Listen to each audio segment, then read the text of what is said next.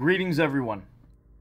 My name is Joseph Zenin, and today we'll be looking at level 6 Lights Out.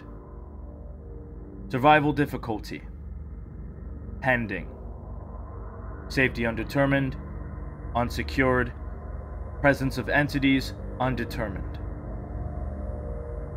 Level 6 is the seventh level of the backrooms. Description Level 6 is comprised of an indeterminate amount of hallways, made up of metallic walls and brick floors.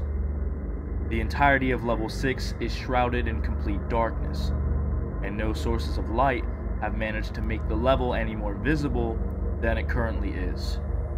Photography has almost always been a no go in the documentation of this level, due to its lack of sufficient lighting. It is assumed to be infinite. It is impossible to see other people within level 6.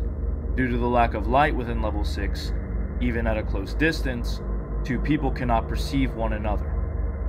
Several reports claim that smilers, or facelings, can appear within this level, but these have been determined to be hallucinations or the result of noises with no explainable origin. As of right now, no entities can be found in level 6, it is believed level 6 may be able to influence one's perception of reality, resulting in symptoms of paranoia and derealization. Despite there being no known tangible threats, level 6 is regarded by seasoned wanderers as being one of the most dangerous levels within the backrooms. A significant portion of the wanderers that enter level 6 do not return.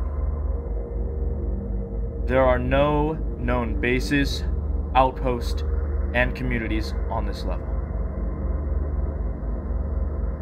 Level 6 can be assessed through the boiler room in level 5. Exploring deep enough into level 6 can lead to level 7. Some openings have been found that lead to level 8. There is a chance that no clipping in certain areas can lead to level 6.1, but otherwise, the level is accessible through certain rare doors. It has been determined that it is possible to find a light switch on the walls of level 6, randomly. Do not, under any circumstance, flip the light switch on. That does it for today. Thank you so much for listening, and safe travels, Wanderers. Goodbye.